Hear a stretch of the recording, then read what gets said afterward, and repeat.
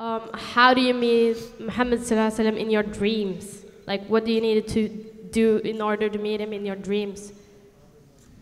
What do you have to do to meet him in your dreams? No, there's no quantifiable answer for that. Allah subhanahu wa ta'ala gives those whom He wills to see our Prophet والسلام, in their dreams. One thing that I do know is that your iman needs to be in check. You need to have right iman. And if you see the Prophet والسلام, you've been blessed. Um, and our Prophet ﷺ said, If you see me in your dream, then you truly have seen me because I, I am the one person shaitan cannot imitate. Shaitan cannot imitate me. So if you've seen me, then you actually see me. And we know many people who have seen the Prophet ﷺ. We ask that we have that blessed opportunity to see him in our dreams, insha'Allah ta'ala. And if not, insha'Allah, we see him on the day of Qiyamah when we take that water from his hand from the hawd, insha'Allah.